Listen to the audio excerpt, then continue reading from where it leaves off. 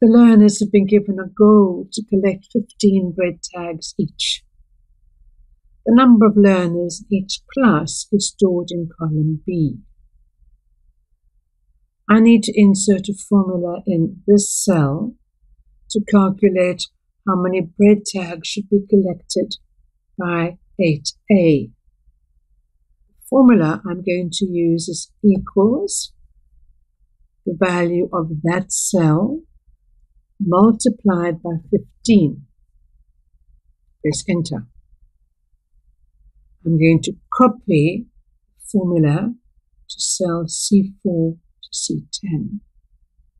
Go to the corner of the cell, then black, hold down the left hand mouse, pull down, let's go.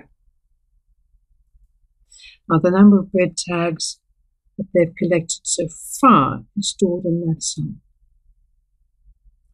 I need to insert a formula there to calculate how many bread tags are still outstanding. I'm going to begin the formula with an equal sign.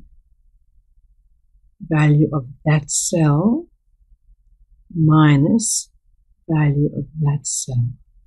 Press enter. I can see how many outstanding 8A. I'm going to use autofill and I'm going to pull the formula down. Hold down the mouse and drag down. Let go. I can now see how many tags are outstanding.